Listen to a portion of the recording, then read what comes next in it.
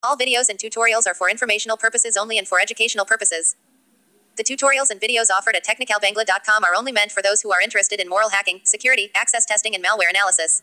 Hacking tutorial is against misuse of the information and we firmly advise against it. সমস্ত video এবং tutorial শুধুমাত্র তথ্যের জন্য এবং শিক্ষাগত উদ্দেশ্যে টেকনিক্যাল বাংলা ডট কমে দেওয়া টিউটোরিয়াল এবং ভিডিওগুলি কেবল তাদের জন্য যারা নৈতিক হ্যাকিং সুরক্ষা প্রবেশ পরীক্ষা এবং ম্যালওয়ার বিশ্লেষণ সম্পর্কে আগ্রহী হ্যাকিং টিউটোরিয়াল তথ্য অপব্যবহারের বিরুদ্ধে এবং আমরা দৃঢ়ভাবে এটির বিরুদ্ধে পরামর্শ দিই।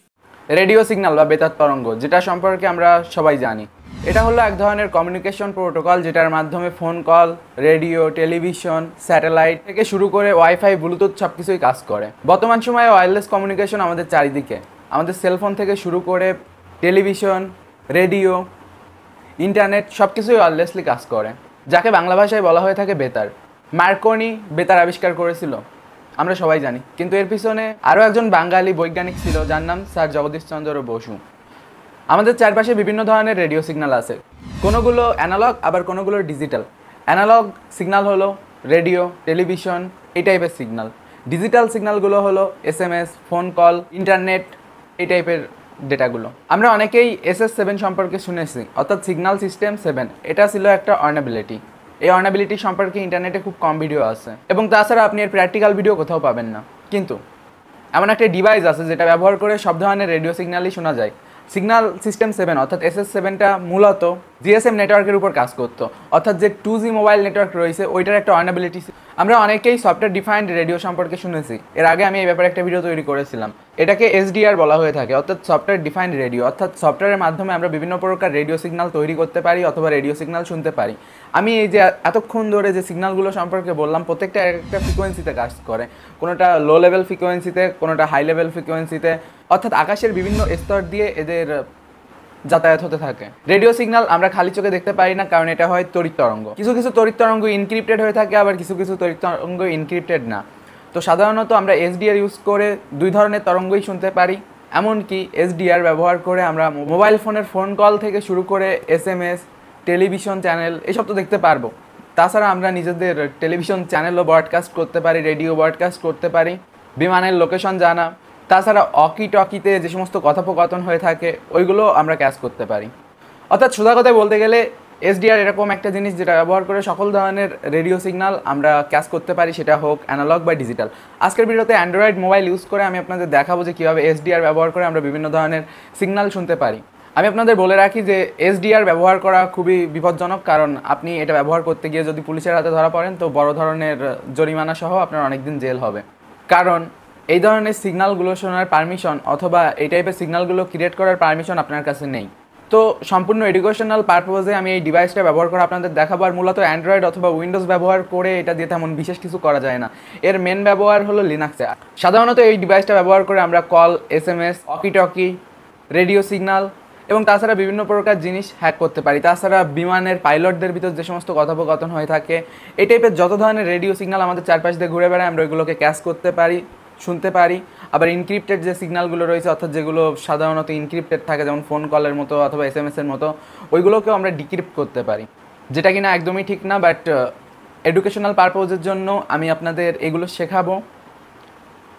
কারণ একজন ইথিক্যাল হ্যাকারের সকল বিষয়ে জ্ঞান রাখা উচিত। আমি বললাম যে এসডিআর কি? সফটওয়্যার ডিফাইন রেডিও তো এই টাইপের ডিভাইস বিভিন্ন ফ্রিকোয়েন্সির হয়ে থাকে, অর্থাৎ ডিভাইসের তারতম্য এইটুকু যে এটার এন্টিনার পাওয়ার কম বেশি আর ফ্রিকোয়েন্সি লেভেল কম বেশি। অর্থাৎ দামি যে এসডিআরগুলো রয়েছে, ওইগুলো অনেক লো লেভেল ফ্রিকোয়েন্সি থেকে শুরু করে অনেক হাই লেভেল ফ্রিকোয়েন্সি পর্যন্ত শুনতে পারে।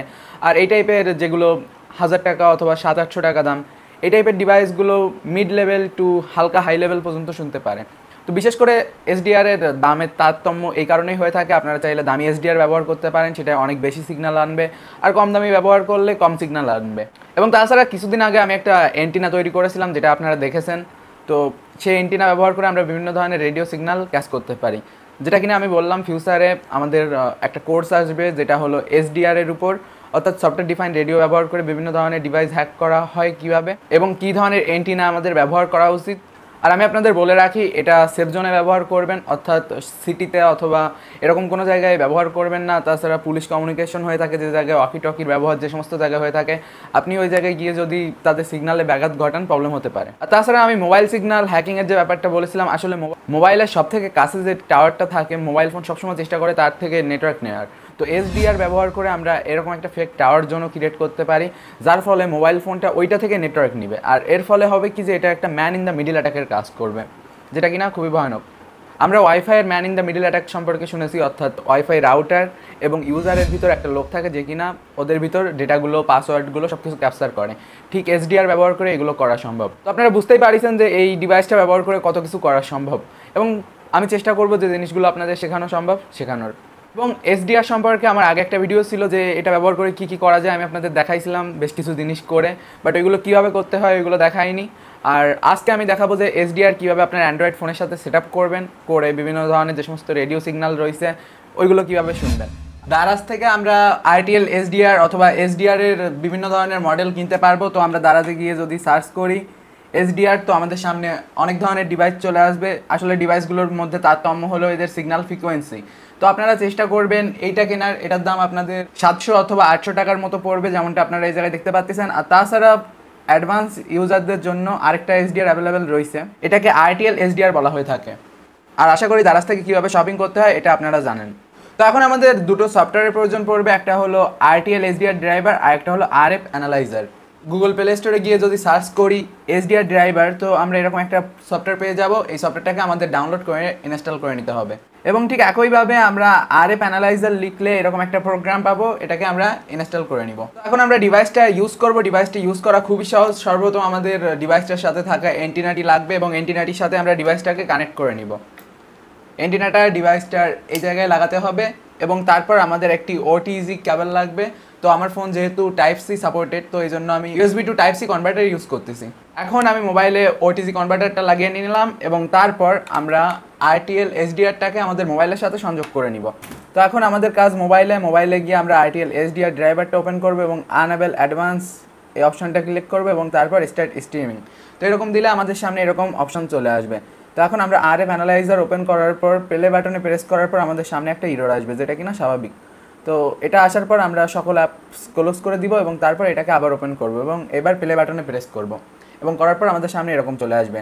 তো এই জায়গায় আমাদের সাধারণত মিউট মুডে রয়েছে, তো এই জন্য আমরা এখন বিভিন্ন মুড সিলেক্ট করতে পারি, যেমন ইউএসবি আছে এলএসবি তারপর wide band narrow band M তো আমরা এই জায়গায় দেখতে পাচ্ছি এএম এ সিলেক্ট করার পর আমাদের সামনে রেডিও ফ্রিকোয়েন্সিগুলো চলে আসছে এবং রেডিও ফ্রিকোয়েন্সি জায়গায় লাফালাফি করতেছে। তো আমাদের কাজ হলো যে রেডিও ফ্রিকোয়েন্সিটা উঁচুর দিকে থাকবে, সেই রেডিও ফ্রিকোয়েন্সিটার সাথে কমিউনিকেট করা। অর্থাৎ সেই রেডিও ফ্রিকোয়েন্সিতে কোনো না কোনো কিছু আছে। যেমনটা এই জায়গায় আমরা দেখতে পাচ্ছি একটা রেডিও ফ্রিকোয়েন্সি হাই লেভেলে রয়েছে অর্থাৎ এই জায়গা থেকে কোনো সিগন্যাল আদান প্রদান হচ্ছে।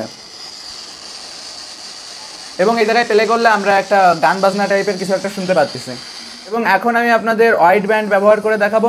ওয়াইড ব্যান্ডে গেলে এই জায়গায় আমরা দেখতে পাচ্ছি দেখেন, একটা রেডিও সিগনাল রয়েছে। তো এই সিগনালটা যদি আমরা গ্র্যাপ করি, এই জায়গায় শুনতে পারব আরেকটা রেডিও স্টেশন তো এই জায়গায় আমরা বিভিন্ন ধরনের সিগনাল শুনতে পাচ্ছি এবং তাছাড়া আপনার যদি কোনো নির্দিষ্ট সিগনাল অর্থাৎ কোনো ফ্রিকোয়েন্সি সিগনাল শোনার ইচ্ছা থাকে, তো এই জায়গায় আপনারা ব্যান্ড সেট করে দিতে পারেন। অর্থাৎ ওই রেঞ্জের ভিতরের সিগনালগুলো আপনি শুনতে পারবেন।